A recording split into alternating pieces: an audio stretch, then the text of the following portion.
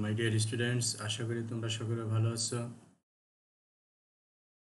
ঈদের পরে আজকে তোমাদের প্রথম লেকচার দিচ্ছি।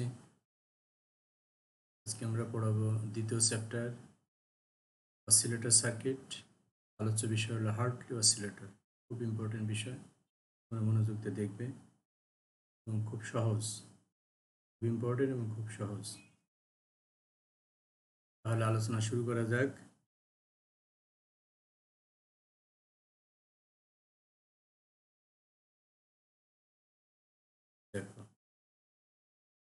বিজ্ঞানী রার হার্টলি, উনিশশো পনেরো সালে হার্টলি অসিলেটর আবিষ্কার করেন। এটা একটা হারমোনিক অসিলেটর। এটা হলো টিউন সার্কিট অসিলেটর।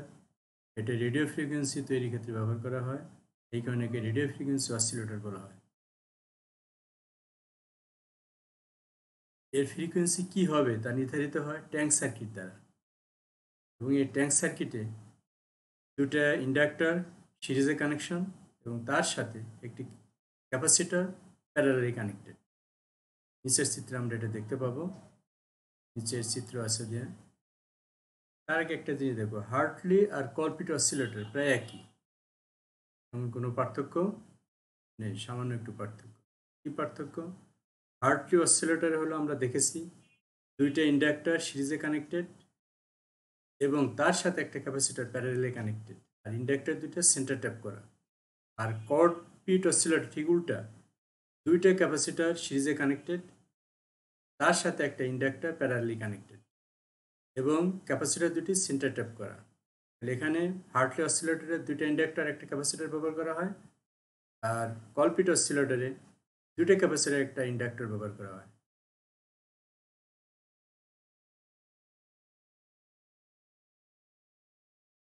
আর এই সার্কিটের ফ্রিকোয়েন্সি কি হবে তা নির্ধারিত করে ট্যাঙ্ক সার্কিট ট্যাঙ্ক সার্কিট মানে হলো তোমার ক্যাপাসিটর এবং ইন্ডাক্টরদের তৈরি করা যে সার্কিট আমাদের এই ট্যাঙ্ক সার্কিটে দুইটা ইন্ডাক্টর একটা ক্যাপাসিটার আছে। এর ফ্রিকোয়েন্সি কি হবে? এটা নির্ধারণ করবে এই দুইটা component L one L two এবং সি কি সমীকরণ তা নির্ধারিত হয়? F Hartley oscillator frequency F equal to one by twice by root over C L T L T মানে total inductance total self inductance C মানে capacitance of a capacitor M হলো, দেখো আবার এল টি ইকুয়াল টু হলো L one plus L two plus two M এখানে L হলো first কন্ডাক্টরের self inductance এল two হলো সেকেন্ড ইন্ডাক্টরের সেলফ ইন্ডাকটেন্স এম হলো প্রত্যেকটা ইন্ডাক্টরের মিউচুয়াল ইন্ডাকটেন্স আর tank circuit C L one L two একটা ফিডব্যাক সার্কিট এর কাজ হলো একশো আশি ডিগ্রি ফেস শিফট তৈরি করা। একশো আশি ডিগ্রি ফেস শিফট তৈরি করে। করে বুঝতে পেরেছ। এখন আমরা একটু সার্কিটটা দেখি। এই যে হলো power supply line plus VCC এটা হলো একটা ইন্ডাক্টর এগুলো হলো biasing resistor capacitor biasing resistor capacitor এইটা হলো মূলত আমাদের ট্যাঙ্ক সার্কিট এটা আমাদের ট্যাঙ্ক সার্কিট দেখো এখানে। এল ওয়ান এবং এল টু সিরিজ সিরিজে কানেক্টেড এবং এদের সাথে আবার ক্যাপাসিটার কি? প্যারালেলি কানেক্টেড এবং এল ওয়ান এবং এল টু সেন্টার ট্যাপ করা। এই সার্কিটের ফ্রিকোয়েন্সি নির্ধারণ করে এই তিনটে কম্পোনেন্ট সি এল ওয়ান এবং এল টু আমরা এল ওয়ান থেকে নিব আউটপুট এই যেখানে একটা টার্মিনাল আর একটা টার্মিনাল গ্রাউন্ডিংয়ে আর এল টু হলো ফিডব্যাক এল ওয়ান থেকে আমরা নিব আউটপুট আর এখানে এল টু থেকে আমরা নিব ফিডব্যাক এবার খেয়াল করি, এই সার্কিটকে আমরা একটু বিশ্লেষণ করি, যদি সি এর এই প্রান্ত প্লাস আর এই প্রান্ত মাইনাস হয়, যদি এই সি এর এই প্রান্ত প্লাস এই প্রান্ত মাইনাস হয়, তাহলে খেয়াল করি, এইটা হবে প্লাস এল ওয়ানের এই প্রান্তে প্লাস গ্রাউন্ডিং মানে মাইনাস এটা যেহেতু মাইনাস গ্রাউন্ডিং হবে প্লাস এটা ভি আউটপুট এটা ফিডব্যাক আরেকটা জিনিস খেয়াল করো তোমরা। তোমরা আমরা এই সার্কিটের যে আউটপুট পাবো এল ওয়ানে সেটা ইনপুটের সাথে একশো আশি ডিগ্রি ফেস শিফট তৈরি করে। আবার এল ওয়ানের সাথে এল টু আবার একশো আশি ডিগ্রি ফেস শিফট তৈরি করে। তাহলে আমাদের ইনপুটে যাবে হলো আউট এখন ফিডব্যাক আর ইনপুট সেম ফেজে আর অসিলেটরের জন্য মূল শর্ত হলো সেম ফেজে ইনপুট এবং ফিডব্যাক হতে হবে। তাছাড়া অসিলেটর সার্কিট তৈরি হতে পারবে না। এরপর আমরা যাই। সার্কিট অপারেশন সার্কিট কী কী কাজ সম্পন্ন করব যখন আমরা সার্কিটটা অন করব, প্রথমে ক্যাপাসিটর সি চার্জ দিতে হবে। যখন এটা ফুল চার্জ হয়ে যাবে ট্যাঙ্ক সার্কিটের নিয়ম অনুযায়ী, তখন সে আবার ডিসচার্জ হবে। কার মাধ্যমে? এল ওয়ান এবং এল টু ইন্ডাক্টরের মাধ্যমে।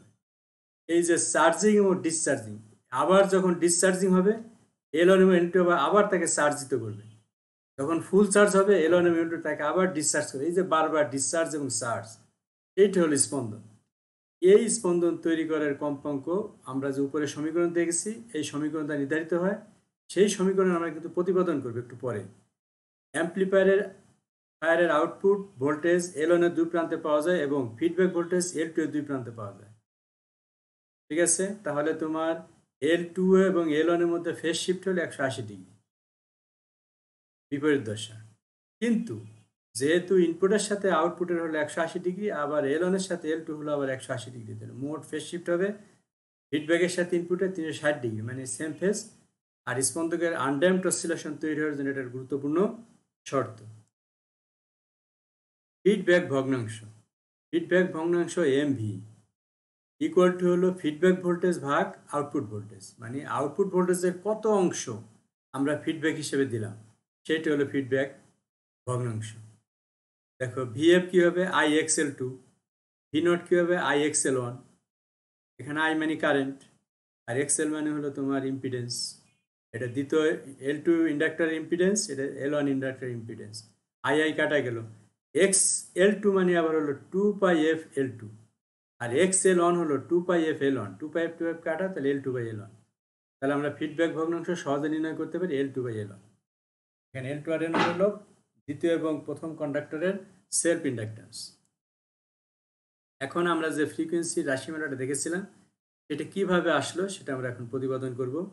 এম হলো এল ওয়ান এবং এল টু আবেশকের মধ্যে পারস্পরিক আবেশ গুণাঙ্ক মিউচুয়াল ইন্ডাক্টেন্স এদের ইম্পিডেন্স জেড হবে কি? এক্স এল ওয়ান এবং X L two X L one হলো প্রথম ইন্ডাক্টরের ইম্পিডেন্স এক্স এল টু হলো দ্বিতীয় ইন্ডাক্টরের ইম্পিডেন্স এরা সিরিজে কানেক্টেড তাহলে এদের টোটাল ইম্পিডেন্স হবে X L one plus X L two এবং এই টোটাল ইম্পিডেন্স সাথে আবার ক্যাপাসিটারের ইম্পিডেন্স হলো তোমার প্যারালাল প্যারালাল দিয়ে দিলাম। প্যারালাল তাহলে এক্স এল ওয়ান মানে হলো J omega L one X L two হলো জে ওমেগা এল টু আবার এই এল ওয়ানের একটা এম আছে মিউচুয়াল ইন্ডাকটেন্স আছে এল টু এর একটা মিউচুয়াল ইন্ডাকটেন্স আছে। তাহলে একটা হলো জে ওমেগা এম আর একটা হলো জে ওমেগা এন আমরা দুটো সমান ধরেছি। প্যারালালি এক্স সি মানে হলো one by J omega C তাহলে কি দাঁড়াল? J omega L one plus J omega L two two J omega M parallel one by J omega C প্যারালে connection করলে কি এটার সাথে এটা গুণ, ভাগ, এটার সাথে এটা যোগ। আমরা জানি এটা ইজি ব্যাপার। One plus J omega L two plus two J omega M into one by J omega C J omega L one plus J omega L two plus two J omega M plus one by J omega এখন আমরা একটু কিছু বীজগাণিতিক কাজ করি। দেখো, এটার সাথে এটা গুণ দিলাম, এটার সাথে এটা গুণ, এটার সাথে এটা গুণ। আর এই জায়গা, যেভাবে সেইভাবে, শুধু এই জায়গায় একটু ম্যাথমেটিক্যাল অপারেশন করলাম কি? ওয়ানের জায়গা মাইনাস জে স্কোয়ার দিলাম। জে স্কোয়ার মানে হলো মাইনাস ওয়ান জে স্কোয়ার মানে মাইনাস ওয়ান তোমরা ম্যাথমেটিক্সে যেটা কাল্পনিক রাশি ধরো আই সেটাই এখানে জে জে স্কোয়ার হলো মাইনাস ওয়ান আমরা জানি আই স্কোয়ার মাইনাস ওয়ান সেটা এখানে জে মাইনাস ওয়ান আর মাইনাস ওয়ান মানে কি? প্লাস ওয়ান এই যে প্লাস ওয়ানের বদলে মাইনাস জে স্কোয়ার রাখলাম, আর বাকিটা ঠিক আছে জিও ওমেগা সি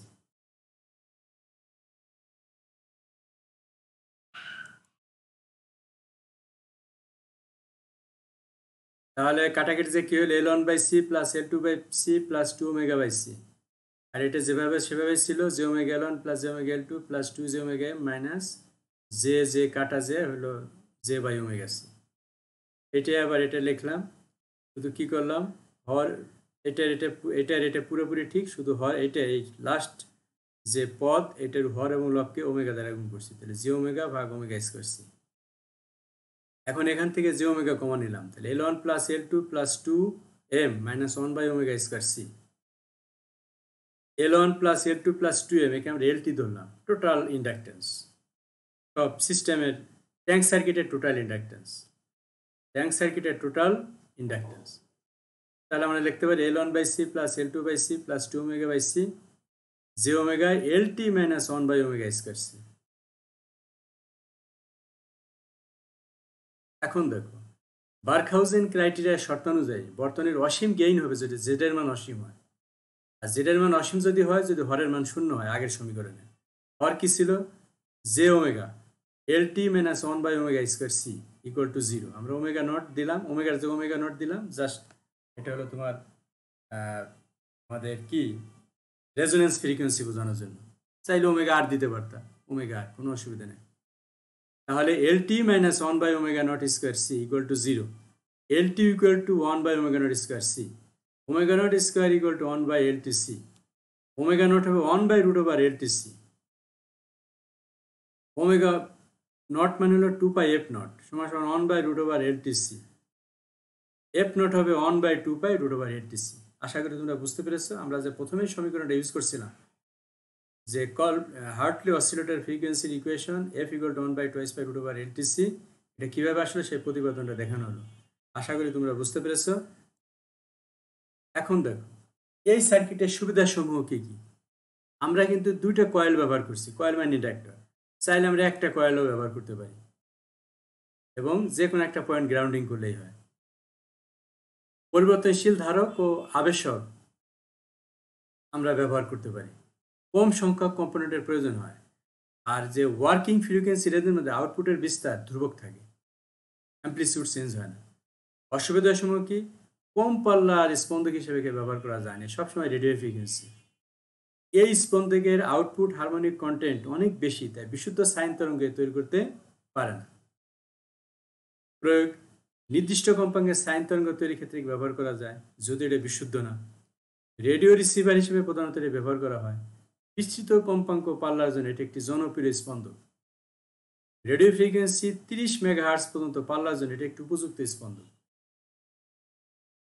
এইটা হলো আমি যা বললাম, তোমার হার্টলি অসিলার সম্পর্কে পুরোপুরি আলোচনা করা হলো। এখন আমরা দুইটা প্রবলেম করব যাতে আমাদের ধারণাটা একটু পরিষ্কার হয়। দেখো, এক নম্বর সমস্যা, পুরো হার্টলি অসিলেটরের চিত্র। আমাদের মূল আলোচ্য বিষয় থাকবে এই যে ট্যাঙ্ক সার্কিট। এল ওয়ানের মান হলো এক হাজার মাইক্রো হেনরি। এল টুর মান হলো একশো মাইক্রো হেনরি। আর ক্যাপাসিটেন্সের মান হলো বিশ পিকো ফেরাট ঠিক আছে, আমাদের ডেটা তিনটে ডেটা দিয়েছে। এল ওয়ানের মান এল টুর মান সি এর মান এই তিনটে ডাটা দেওয়া আছে, এখন দেখি। প্রবলেম আমাদের কি সলভ করতে বলছে। দেখো, উপরের চিত্রে প্রদর্শিত হার্টলি স্পন্দকের অপারেটিং ফ্রিকোয়েন্সি মানে resonance frequency F naught feedback ভগ্নাংশ নির্ণয় করো। দুটি কয়েলের মধ্যে পারস্পরিক আবেশ গুণাঙ্ক বিশ মাইক্রোহেন্ডেড এম কি কি দেওয়া আছে? L one L two C M সবই দেওয়া আছে। দেওয়া আছে এল ওয়ান এত এল টু এত এম এত। তাহলে আমরা জানি মোট আবেশ গুণাঙ্ক এল টি হবে L one plus L two plus two M এক হাজার প্লাস একশো প্লাস টু ইন্টু বিশ, সমান এগারোশো চল্লিশ মাইক্রো হেনরি এগারোশো চল্লিশ into ten to minus six henry ধারকত্ব C হলো বিশ পিকো ফেরাট বিশ ইন্টু টেন টু মাইনাস বারো ফেরাট আমরা জানি কোনো প্রবলেম সলভ করতে গেলে আমাদের প্রত্যেকটা ইউনিটের প্রত্যেকটা কোয়ান্টিটির ইউনিট এসআই এককে নিয়ে আসতে হবে। তাই আমরা হেনরিতে নিয়ে আসলাম ফেরাডে নিয়ে আসলাম। অপারেটিং ফ্রিকোয়েন্সি বা রেজোনেন্স ফ্রিকোয়েন্সি এফ নট হবে one by twice by root over L T C one by twice by root over L T এই যে সি এর মান বসাই দিলাম অঙ্ক হয়ে গেল।